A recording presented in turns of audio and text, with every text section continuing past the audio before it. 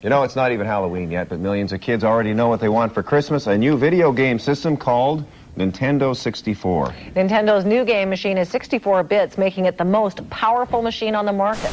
Nintendo took the power of a $100,000 computer workstation and put it into an affordable home game machine. The result? Some of the best video games ever made.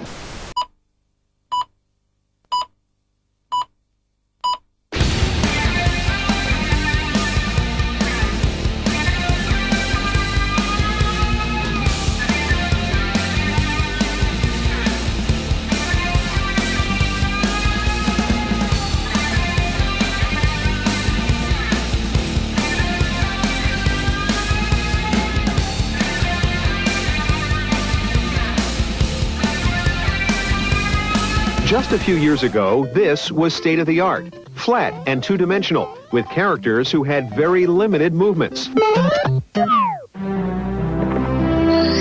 With Nintendo's 64 bit technology, it's a whole new game. Now Mario lives in a 3D world, and you can make him go wherever you want.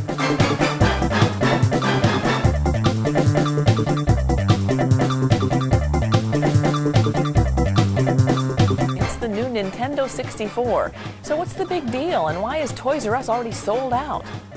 Whatever you thought about video games before, set it aside, try it. It's a whole new experience. Parents, you've been warned. Nintendo 64 is very likely to produce this year's biggest holiday headache.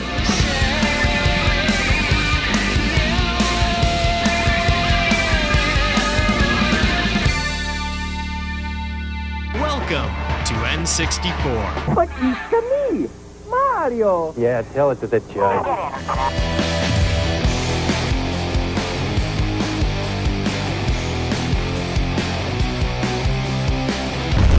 Tubers and trolls, Chris here with Telesplash Gaming, one of the OG members of the Brew Crew with you, and you're watching my buddies Robert and Wes live out their nerd fantasies, drinking beer and playing games at Gaming Off the Grid. The N64 Bad Beer Month. I, I think we can get rid of these glasses. Yep, we're not pouring High Life. We're drinking straight out of the bottle. Yeah, heck yeah, it's a champagne beer.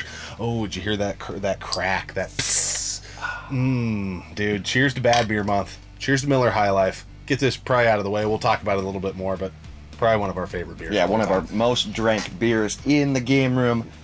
But we're talking about the N64 Yeah. right now. The N64 launched September 29th of 1996, over a year after the PlayStation 1 came out. Yeah, yeah. That's a long time. Sony uh, got boots on the ground, and I think the N64 did see some delays early on, but the hype around the console was for real. Yeah. If you grew up at the time, PS1 was already out, the Saturn was already out, and people were waiting for that next Nintendo console. Came out at one ninety nine ninety nine, which uh, was pretty expensive at the time. Sony launched $100 higher than that, but they had adjusted their price down to 199 Yeah. I think in May, preceding the N64's release, like six to seven months after Sony had released the console. I think they were getting ready for Nintendo They, to they, jump on they the knew scene. they were coming. So Sony crushed this generation in sales. The N64 only sold like 32, almost 33 million units, and the freaking PS1 sold over 100. Yeah. Like, that's, in, that's not even close. It, it is kind of weird looking at the data. Like it, you know, at least in the neck of the woods I was in, it seemed like a lot of people had the N64, and there were more kids playing that, at least That- in yeah. my inner circle, than the Sony PlayStation.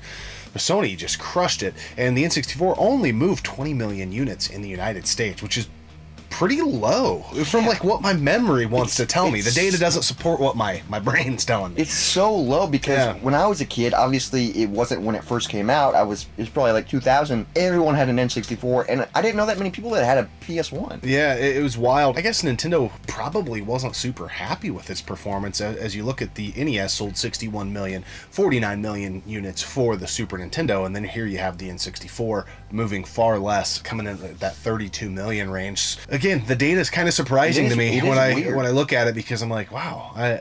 I, I guess I would have thought it was higher. I, I don't know. And maybe the four players and stuff like that just made kids like, oh, my friend's got an N64. So I can Maybe- just- maybe I don't need it. Yeah, one. you don't need it. You can just go over. But it definitely did not repeat the success of the NES No, and the Super Nintendo, and it was super freaking hyped. So somewhere along the line, I don't know if it's Sony munching into those console homes and, and, and taking those sales, but it just didn't do all that well. Um, what is your nostalgia and memories of the N64? I know that like I have huge nostalgia for it. the nostalgia is very high for this console. Yes. Um, I would say, you know, some of my best gaming memories were from this era. Uh, we had a group of neighbors up the up the road, and their oldest son was close to my age.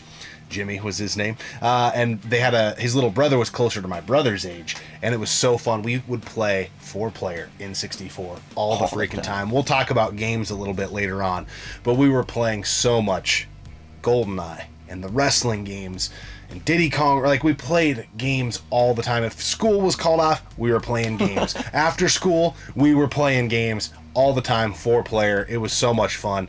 A lot of uh, just killer memories around the N64. And honestly, the N64 is probably the console that I wanted the most in my entire life. Like, you know, there's that thing that you're just like, I have to have Yeah, I that. want it so bad. That was the N64 for me. I wanted one so damn bad. I was just obsessed with And it. you didn't you didn't get it the year you it came out, right? You got it a year No, after. I Yeah. got it the year Ma- I must have been the Christmas of '98 because Madden '99 was one Was of the games got I it, got yeah. with it. Um, and I got, I think I got GoldenEye. Oh, You know, over going to different people's houses and stuff like my grandparents and that for Christmas, people were getting me that stuff. But I did Christmas morning. I think I just got Madden '99 in the console. So yeah, it was, and it was this console. It was, Uh, it was the one with dude, the uh, atomic purple controller. I got my N64 for Christmas too, and spoiler alert, if there are young kids watching, I'm sorry, but the N64 is the reason that I discovered that Santa wasn't real. oh, hey! So naughty or nice. That kind of sucked because I went down Christmas Eve to get some water and I saw it on the table, and then next morning it said from Santa. and you're like, wait a I was like, wait a second. But anyway, thank you so much, Santa, for it because I played it so much. I didn't play that much four player with it initially. I just played it by myself. But I had Episode 1 Pod Racers, I had Shadows of the Empire. I was way into Star Wars during this time period. So It was a great console for It- that. Yeah, there was uh, I about three decent Star Wars. games loved it, yeah. those games so much. I think I had a couple others, but those were the two games I played nonstop. I had like the Pod Racer toy that I would sit next to me while I was playing Pod Racer. You're like, hey, I was a freaking nerd. I still am. But so much nostalgia. I played it so much. Yeah, it, it definitely, and I think for a lot of folks in our, our age demographic, I think they fall on the, the same boat with the N64. Lots of nostalgia. Collecting for it in 2021, if you're looking to get into collecting for it, kind of recouping what you had as a child, you know, that's what a lot of us crazy Yep. collectors do.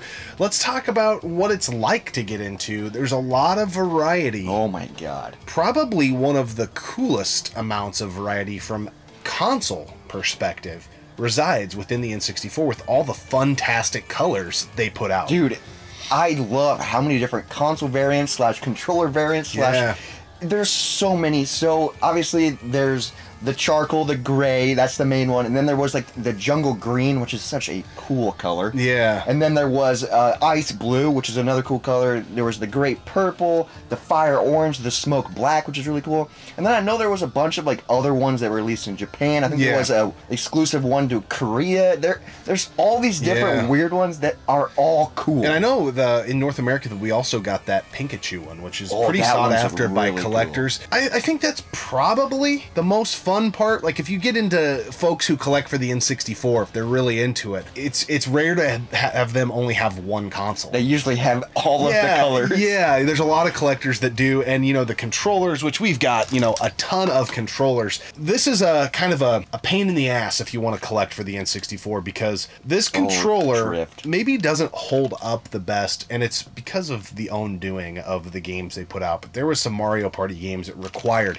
heavy rotation on this joystick, which is you know doesn't hold up the best. So if you're picking one up you always want to check the joystick. Everybody, if you watch collectors and, YouTubers, they'll always say, "Oh, it's a, it had a tight stick." That's what they mean. And we're fortunate that everything in our collection, we'll get right if it, if it doesn't, but you'll find some of these where this this some bitch is laying. It's a over. limp Yeah. dick, dude. Yeah. It's so But soft. You want to have a just- tight stick, yeah. It's from, from this freaking Mario yeah, Party game. Yeah, it's crazy. but there's a lot of different colors, and uh, most of those fantastic consoles that came out had a corresponding controller that you Yes. could also get. They have the translucent, like this is the one that came with this set, the Atomic, Atomic Purple. Purple. And I don't know if you could buy the Atomic Purple controller by itself or only with this. Now you could get the Grape Purple one. Leave in the comment section if you could, but I think this was exclusive to this bundle. Yeah. I could be wrong. I just don't recall seeing anybody that had this controller and didn't have it from this bundle. And then you know you had all the solid color variants Oh, as well. yes. Uh, there's solid green, solid black. I've seen blue. I've seen red. I think I've seen yellow. Yeah, there's a yellow one I think for like Donkey Kong or something like Well, that. there yeah. is that rare. I think you had to order it uh, specifically, maybe from Nintendo Power, but it had like that cover, that Donkey Kong banana so looking cover. cool. Uh, I've always kind of wanted that.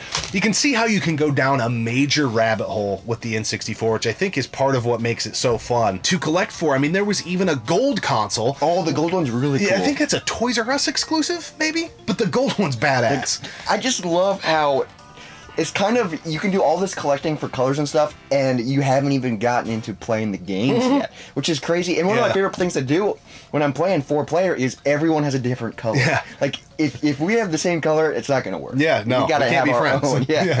Yeah. so that's just cool, and it's I feel like it encouraged people to go out and buy multiple consoles, which was weird. Yeah, it, it's definitely something that Nintendo's dabbled with this. You know, we, we, we've already done the GameCube video on this, but there was the purple and the silver and the black, and there was a couple other variants, you know, in different markets, and I'm probably missing a few, but it wasn't as extensive as this. And even in current times, you know, with, you know, the Switch, yeah, you got different Joy Cons and stuff, and there's they, And they they're- released like the Mario. They're, doing it a little. They're kind of recreating it because they're releasing some like translucent ones or fluorescent ones like this, but it's not the same. I know Yeah. the Game Boy is like the closest for color variants. Yeah, yeah. You know, because that was They were cool. just, I think, just during this time, they were just way into that. You know, the Game Boy Color just had a ton of variants, and even the Game Relish. Boy, yeah, the Game Boy Pocket before that had some different ones and things like that. But that's, I think, the coolest thing they did with this console was that I don't know if you want to call it personalization, but you kind of had that feeling like. Man, I'm the only kid that's got the Jungle Green N64. Yeah. and and, And it was just cool. mine. Yeah, Uh, but- mine, oh mine. Speaking of controllers, we got to jump into N64 accessories. Uh, Nintendo, like usual, goes nuts with accessories. So obviously, there's the controllers. Yep. And then there's memory cards, which are super important. And then what's really cool, I always feel like I'm loading a gun. I've never loaded a gun, so I don't know if it's even close. But rumble packs. It's just Yeah. so crazy. this was a big deal at the time. The the rumbling of the controller, it's like, oh my god, this game's so realistic. I got 3D. vibrates. Yeah, and these are not as fun as you might remember them being. That's just No. my opinion. They do throw the weight distribution It's, off it's on a the lot. controller. It's very top heavy once you put it in. but there is something nostalgic about it. It is. There is. And when you go back and play it nowadays, it doesn't even rumble that much. No, like because you're used to like PlayStation 4 and all that rumble. I But could be wrong, but wasn't there a commercial where the, the kid's like, oh, Yeah, he's like, "Ah." it's too rumbly. This is the Rumble Pack. The big reason why Star Fox 64 is the coolest cinematic gaming experience there is. I don't know that unless you're wanting that full experience and nostalgia, I don't know that it's necessary. No, it's to not. get a Rumble pack. I wouldn't say it is. Probably need a memory card before you'd need that. The expansion pack was a big deal. Yes, that's a really big deal. I want to say the first game that required that was Donkey Kong 64, which I've always felt like that game was a letdown. Sorry if you love Ooh. it. I never, uh, coming out of the Donkey Kong Country games that preceded it on the Super Nintendo, I was so hyped. And I remember when I played it, I was just, uh, the game felt very bare to me, um, very hollow. I just never have really connected with that game. But there are games that came after that that do require that expansion pack. So you're going to want to get one of those probably if you're going to collect for the console. And if you're a reseller and you find N64s out in the wild, here's a hot tip: sell the expansion pack separately. Yeah. You'll make more money. Because you can get those original jumper packs for the N64 super cheap. Most retro gaming stores have them for five or six bucks, and you can sell the expansion pack for like 40 to 50. Yeah, which so, is it's it's a little hot tip. And then um, obviously you got the cleaning kit, which was super important because it's still cartridge based. yeah. Um, Nintendo was very slow to get in the disc game, and when they did, they had to be different because of the GameCube discs. Weird. Yeah, they had didn't they have like a transfer pack too to like maybe stuff over to your Game Boy over I never did that. Oh yeah, I didn't even. I don't know much about that either. I know there was a voice recognition deal Really? for one of the I want to say like Hey You Pikachu Pikachu. I just put an N in there for some reason.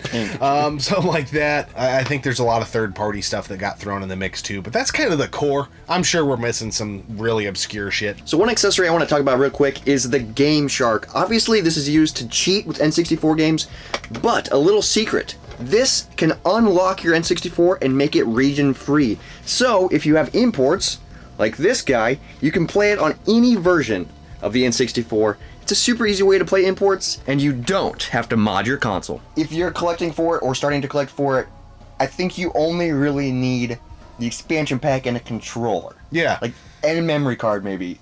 Yeah, because some games don't even require the memory card, Yeah. but some do. So So it's all depending on what games you get. But speaking of games, let's talk about our top 10 Yeah. N64 games. This is crazy. So we've been doing these top 10s in our past videos. We're very nostalgic for this console, but the games are this was a very Kinda. hard list to make. yeah. It's pretty hard to get to 10. If you had to go beyond 10, it's really tough. But let's talk about the games. Number 10 on the list is an early release for the N64. Always been obsessed with the water physics in this game, Oh. especially for the time. Wave Race 64. It's a game Beautiful I feel game. like everybody had. I love racers and boat racers. Yeah. It's it's such a sweet game. you know, there was Jet Moto um, for the jet ski connoisseurs and that out there on the PS1. But Wave Race 64, it's still a really fun game to go back to. A little primitive, but Yep. the water physics are really good in this game. They did a fantastic job. And then there's another great racer at number nine. Number nine, and this game is very unique. Diddy Kong Racing. When I first played this, I was so used to Mario Kart that I was like, "Whoa, Yeah. it's way different, but it's so cool." It is a very good game, and it's a game that there's a lot of folks out there that prefer it over Mario Kart 64. Now, I don't- I don't know think that's taking it too far. It's still good. It's still really it's still fun. really good. And if you're into that four player action, Diddy Kong Racing's a good one to pick up. I actually think we've got it CIB Ooh, yeah, as kind of looking over here. It's a rare game. Yeah.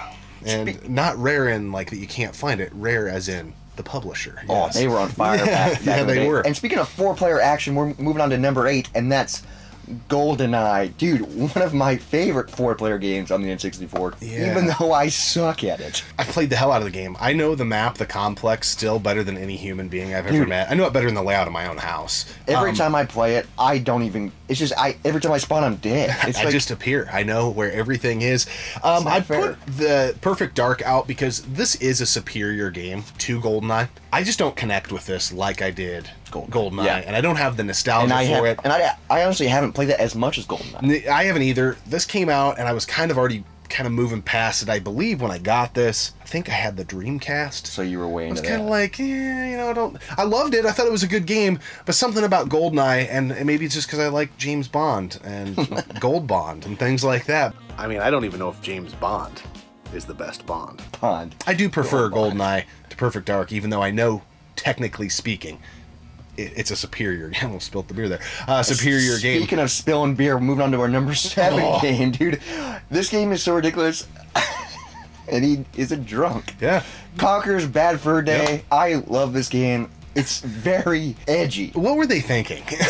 Isn't this also a rare game? it is, They- yeah. Dude, Goldeneye was as well. So I mean, they they, they were on fire. they had their fingerprints all Dude. over this console. What a funny game. Yeah. And I did not play it when I was a kid, and I doubt my parents would have even let me. Yeah, it. but if It's you're very adult. into that 3D platforming collectathon type of game, like like Banjo Kazooie, Banjo Tooie, very those type of things, cut from the same cloth. It's just it's got an edge to it, and uh, it's rated M for and a reason. there's some really fun multiplayer stuff in that game. Yeah, which yeah. is really sweet. Yeah. Now moving on to number six, and that's Super Mario 64.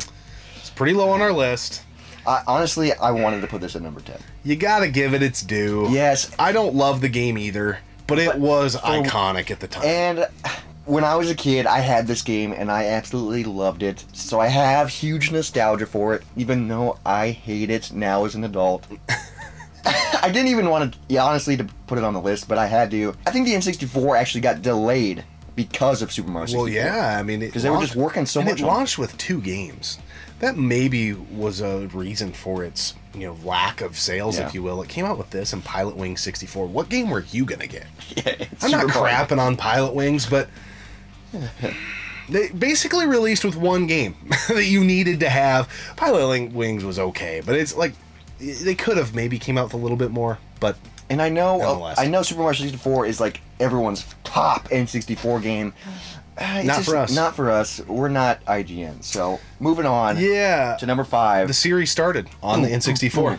It is fun going back and playing the original Smash Bros. because the roster's like eight people. Yeah. And it's crazy because we're so used to the Switch version where there's like hundreds. Yeah, yeah. This game is still so much more It, it, fun. it is. We actually play this. There's a arcade bar near us that usually has this and Mario Kart 64 set up, and this is always a fun one to sit on and play on a projector screen. Even though it's on a projector and it looks like garbage. oh yeah, But I it's mean, still so much fun. N64 in general kind of looks like garbage. So imagine blowing it up on a shitty projector screen. It's hard to even tell what you're doing. But this game is a lot of fun. It got the series started, and uh, it's a staple uh, for a Nintendo IP. They did a really good job with this one. Number four, Number four. Zelda Ocarina of Time. Ocarina of Time. This game is beautiful. It's such a fun game. Yeah, it, it's not my favorite Zelda game, but it's one of those few games that I do like going back and playing Yeah. on the N64. There's some of these games on this list, as much as I love GoldenEye, it's hard to find people who can sit down if they weren't way into it and weren't like at the level that I was at that game and have them have any fun playing it. Yeah. It's just not with the control scheme and the Dude, way you the have to strafe with the C buttons Very tough. that's a tough one, but Ocarina of Time, it has stood the test of time. No pun intended. Whoa. But I love that game a lot. Um, number three is one of your favorite series Number three. ever. On my, if this was my personal list, this would be number one. Uh, Banjo Kazooie. I love collectathons. I love the charm of this game, the music. This game is beautiful. It's so much fun, and I love the whole franchise. Even though it hasn't really, there's nothing lately in it. I mean, he is in Smash now, which is pretty cool. yeah. The original Banjo Kazooie, such a fun, unique, weird game. Yeah, it's, it's very good. I'm not a huge collectathon game fan, but if you were going to get into those, it's top of the shelf. It's so good. Mario Kart 64. Just amazing. You still had to Know really you were doing. be good to Yeah. get the power slide to work, and those who can. It's like the haves and the have-nots. You either know how to power slide or you don't. This is a game I, I'm still pretty good at. I'm better at some of the other Mario Karts, just because eh, for whatever reason, Mario Kart's a game. Once the, like the newer ones come out, I very seldom go back Yeah. and play the older ones. But I do love this game. And I love how in this game, if you know how to do the stuff, you can win. Because in the new games, it's kind of like, oh, you don't know who's going to win because it kind of keeps it fair. it's kind of randomizer. Yeah, there's Yeah. some rubber banding for sure in but the newer games. in the older ones, man, it's it's such a fun game, and we play it all the time at that barcade. Yeah. It's yeah. it's so much fun. it's a go-to. And now moving on to number one, we play this game probably multiple times a year. Yeah, for we sure. love wrestling, and I know there's other wrestling games that are pretty good, but No Mercy is such a fun game. Insert N64. the AKI games or AKI, however you say it, uh, games from THQ here.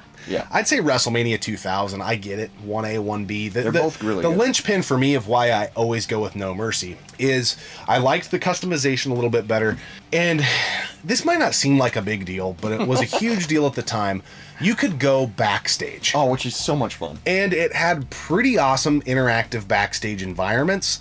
It made the game so the customization you could do. We would always do a 30, I think it was 30 man Royal Rumble, no ring outs, And just move. no pinning. The only way was to make someone knock someone out. And so these would go on forever. hours, dude. That's hours. You'd go backstage, just be freaking beating people up with stuff, and it'd take forever to knock them out. We would play it for like a whole afternoon. Just, I, I love No Mercy. I think it is still the best wrestling game. WrestleMania 2000 is really damn Yeah, good it's too. up there. Like they're really close. I, and if you know, I flipped a coin, and if I ended up with WrestleMania 2000 or No Mercy, I would be okay.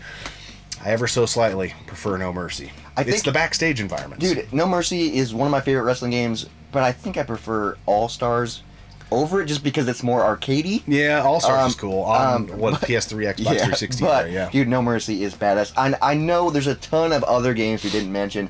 Obviously, there's other wrestling games. There's Majora's Mask, which is a great Zelda game. Yeah. I think there's Hydro Thunder. I can't Which- forget that. Yeah, that's a good pull uh, there because I believe the N64 version is the only home console option that lets you play four player. Oh, really? Yeah, the Dreamcast version's closer to the arcade port, but It's I'm only- pretty sure it's only two player. That's so dumb. Well, and I'm I could be wrong, but I'm just going off of the wrist here. I think that's why the Hydro Thunder on N64 is like a fifty dollar game. because of the I, four I player think it's the four player. It doesn't look as good as the Dreamcast one. Doesn't play as good as the Dreamcast one, but you can play four player. I freaking love Hydro Yeah. Thunder. There's Um, there's so many other Star Soldier, Star Soldier. it's it's Yep. the game isn't rare, but it's a rare occurrence on the N64. I it could be the only spaceship shooter possibly that I know of. That's like your it's a vertically vertically scrolling spaceship traditional shooter. A lot of the stuff on the N64 is messing with 3D. Yeah, it's getting really weird. Star Fox 64. Yeah. Um, obviously, I talked about them earlier, but the Star Wars games, Yep. Pod Racers, Shadows of the Empire, uh, those are phenomenal games. I think there's a um, Rogue game on there. Yeah, Uh, there is Rogue Leader. Yeah, Rogue Yep. Leader, the first one. Yep. Uh, which is really cool. There's there's a lot of great games, and then a lot of games that don't hold up. yeah, yeah. I, it's tough to say there's a lot of great games because even on our top ten, there's some games I could I could be okay never playing again. True. Yeah. It's just my opinion on the console. So there's a little bit of the history of the console. There are some of the accessories and the games.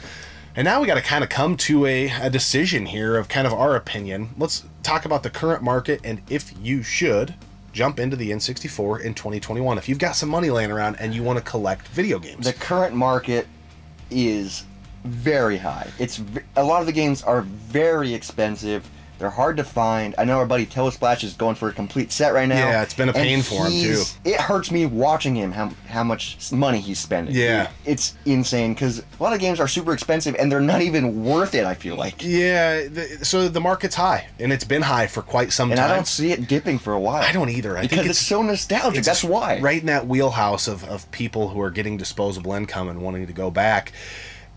The console, however, is a very reliable console. Yes. So if you had to compare it from a reliability standpoint to the Sega Saturn and the PS1, which are both pretty reliable, but they're disc-based consoles, and those disc drives, they're a bit of a problem. They fail. The N64 will be around longer than us, Oh, and it will. I, I very seldom find one that doesn't work. we find them all the time and they usually fire up immediately Yeah. they're so hard to kill and i will say that the controllers that's the struggle because of the limp joysticks but Yeah. other than that the, even the controllers hold up like it's Yeah. that hard plastic you know It's fun uh, to collect for. It, it is fun just because of the color variants and the variety. I get why people like collecting for it. I understand it. and the nostalgia my opinion, I think our opinion, there's only a fistful of must play games. How do you collect? That's the question. yes Do you collect for collecting's sake or do you collect to play games? Because if you're wanting to play games, I've already said this is the console I'm probably the most nostalgic for, and it's one of the least played consoles in the game room Yes. today. This game or this console lives on better in the rearview mirror and in the memory and in your nostalgic heart than it does in real life. A lot of times you go back to an N64 game and you're just going to be let down. yeah I just don't think it delivers it's it's to what you remember. That's my thoughts on the console. it's so nostalgic and i think honestly this is going to be a hot take but i think the n64 is overrated I going back to it, I, Yes, I agree. because people put it on this high pedestal because of nostalgia, and I freaking loved it as a kid. And so die. But yeah. it's just it does not. I know people get mad when you don't say, it, but it does not hold up. Yeah, it's it's tough to go back to, and it's i again. I wanted an N64 as my most wanted Christmas present I can ever remember. But I really think we could trim our N64 collection down to five to ten games, and, I wouldn't lose any sleep. No, we would. It would be fine, and we would probably make a ton of money. Yeah, it's a you know something we might even have to consider because as long as I got WrestleMania 2000 or No Mercy, I, I'm okay. Yeah, as long as I have Banjo Kazooie, that's all I need. I mean, I just I don't know. So I think it depends on what you play Yep. and how you collect. Maybe there's someone watching this is like, you guys are dead wrong. I love these games. Touche. That's Yeah, that's so you. This is just our opinion and the way we see it. And I will say one thing about the N64 is, if you've never played an N64 and you're jumping into it for the first time, it's going. There is a learning curve. First, a Lot off, of frustration. The controller. How do you hold it? Figure it out. It's three prongs, and then the game's inverted controls on some of them. Some of them look terrible. Yeah. It's very tough if you've never played it, and if you don't have that nostalgia, you're gonna play it for five minutes and be like, no. we did an. N64 event, uh, and Robert always says, "How do you hold the controller?" Obviously, we both know how, but it was unique because a lot of kids came, Yeah.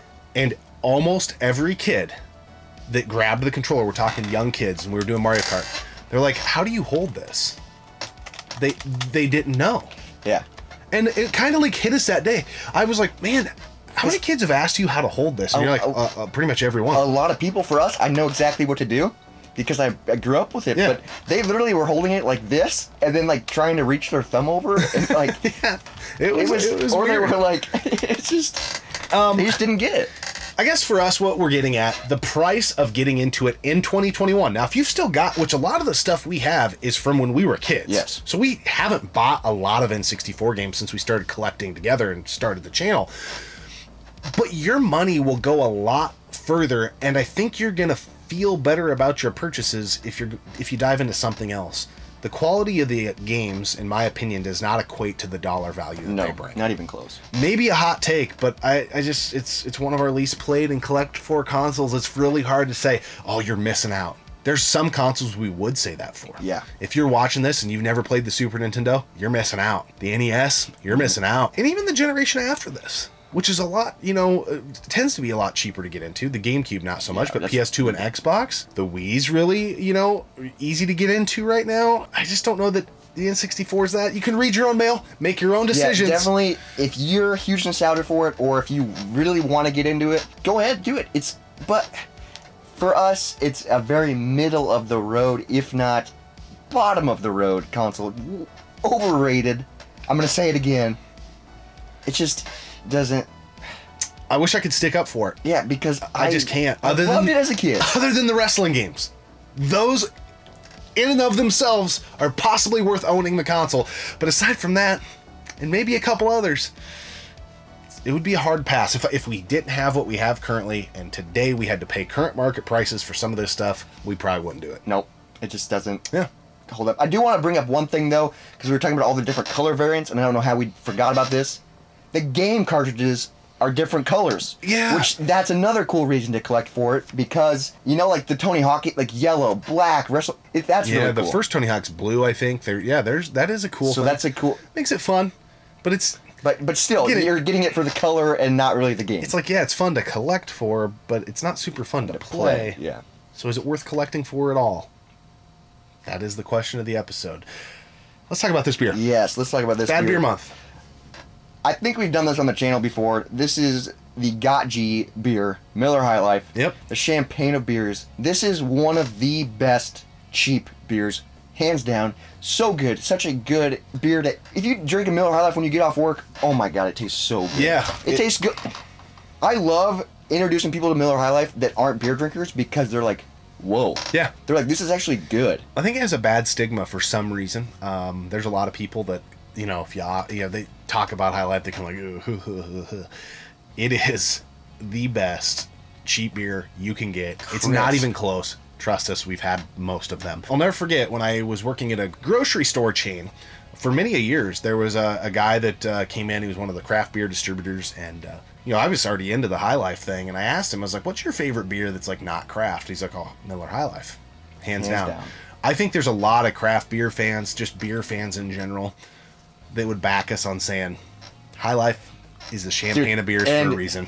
Get it out of the glass bottles. It's so good in the Yeah. glass bottles. I don't know what it is. Unless I- you like that metallic aluminum taste. I've which- had it in the cans, but dude, so so have I. Yeah. glass bottle, man, so good. Yep. Premium brewed, and I don't think we've talked about it in a long time. I think we showed it in our game room tour, but we have drank it so much that we found one where the label was upside down, and it's right behind me on the shelf. That's one of our crowning moments. Yeah, I love that. It's never been opened. Label upside down. I've called this place out before in episodes, but if you're ever in the Des Moines, Iowa area, you got to check out the High Life Lounge. Oh, Amazing. Shag carpet, old beer signs, wood paneling, bar food that you would have never seen on a menu except for maybe in the 70s. it's comfort food, baby. and I think all beers they have on tap is stuff only brewed before 78. It's one of the you best can get places High Life on tap. on the planet. Dude, I literally say it's Grandpa's bar and it's Grandma's kitchen. Like that's what the place Yeah. is, dude. It's I love. It's my favorite place. you in the need to sell them that.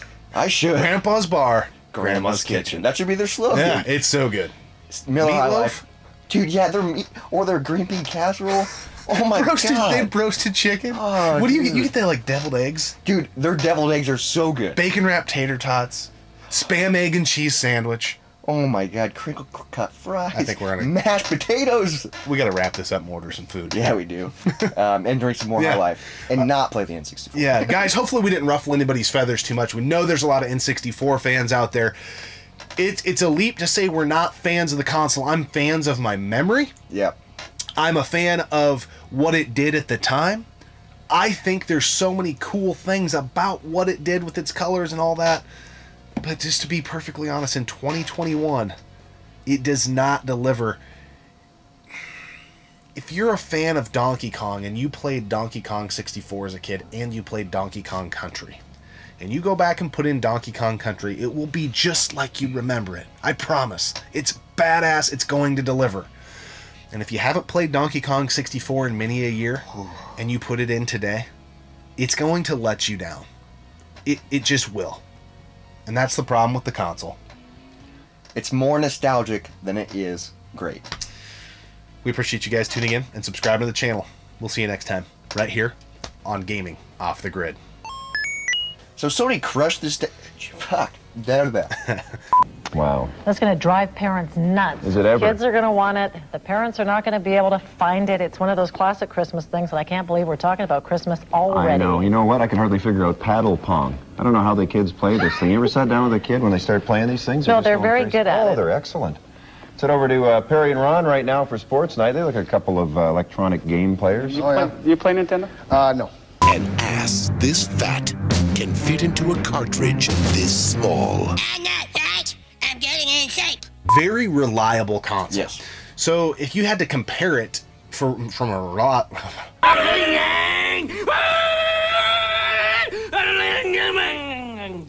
Sorry. I, I, I'll never forget when I was working at a grocery sh- gro. But just how easy is it to play Nintendo 64? After all, the controller looks like it could be used on some kind of military jet.